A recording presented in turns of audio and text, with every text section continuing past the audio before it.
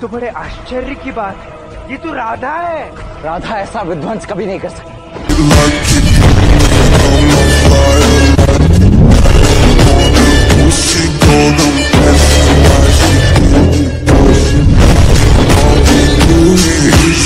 हटो मेरे मार्ग से। मेरे समक्ष क्षण भी नहीं टिक पाओगे। वो यहाँ आए। अन्यथा मैं उसकी द्वार का नष्ट कर दूँगी।